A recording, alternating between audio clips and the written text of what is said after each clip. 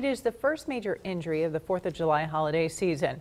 An Omaha man was critically injured this morning when a firework exploded in his hands. Police and vendors are using this injury as a cautionary tale for others. Around this holiday, consumer experts say roughly 230 people go to the emergency room each day because of firework injuries. KMTV Action 3 News reporter Shantae Passmore is live near 108th and Q with this story. Shantae, what exactly happened?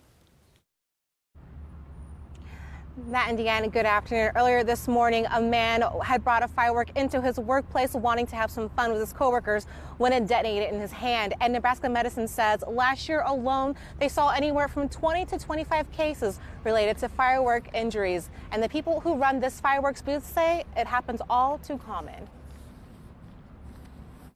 Always follow directions on the packages, stay away, make sure little kids ain't playing with them and always have adult supervision when you're playing. It's sound advice that sounds like common knowledge, but firework related injuries happen every year, just like this morning. He was unable to get the fireworks out of his hand in time. It set off when it basically detonated inside of his hands.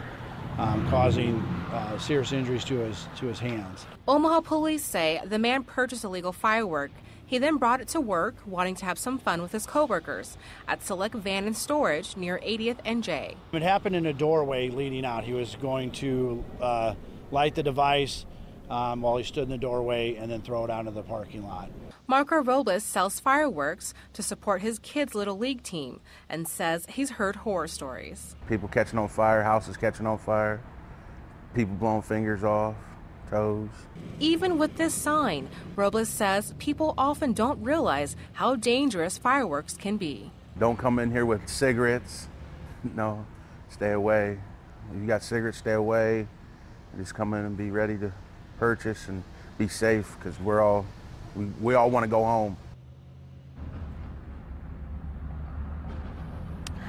As for that man who was seriously injured after having the firework detonate in his hand, police say he won't face any charges, but they do caution people to please read the instructions, read the signs before using the fireworks to avoid any accidents. Reporting live near 108th and Q, Shantae Passmore, KMTV Action News Midday.